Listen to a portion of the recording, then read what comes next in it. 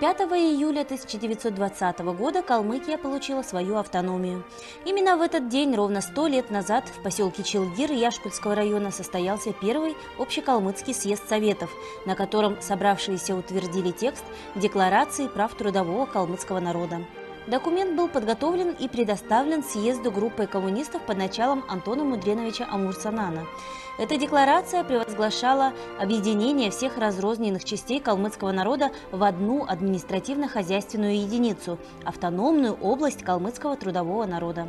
Там же, на первом съезде Советов, было принято решение о создании Национального музея.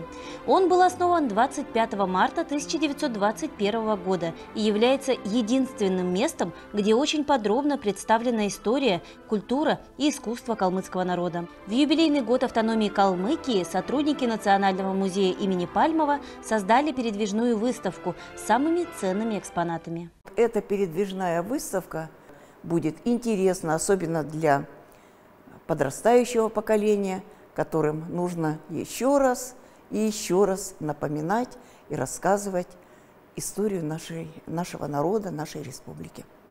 Здесь, в музее, хранится ценнейший для калмыков документ – воззвание товарища Ленина к калмыцкому народу. Для подлинника созданы все условия, чтобы экспонат мог как можно дольше сохраниться.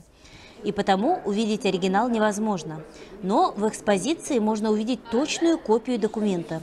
Воззвание Ленина гарантировало калмыцкому народу неприкосновенность его прав и равенство со всеми народами Советской России. Это, ну, можно сказать, единственный экземпляр вообще в мире, который сохранился вот с тех далеких лет. И э, экземпляр этот поступил к нам э, в 70-е годы прошлого века, и поступил он от жены писателя Батра Басанговна, от Доры Ланковны Басанговой.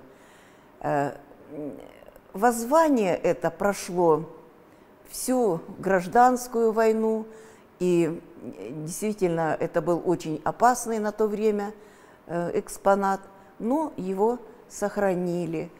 Э, он прошел депортацию, ну, всю войну, депортацию, и в 60-е годы вернулся на родину, э, хранился в архиве писателя, ну а потом уже в 70-е годы правильно решила семья, передав его к нам в музей – Возить его или показывать просто мы не можем, так как э, цены этому документу нет, да и он, конечно, старенький, потому что ну, с 19 -го года, посчитайте, сколько ему.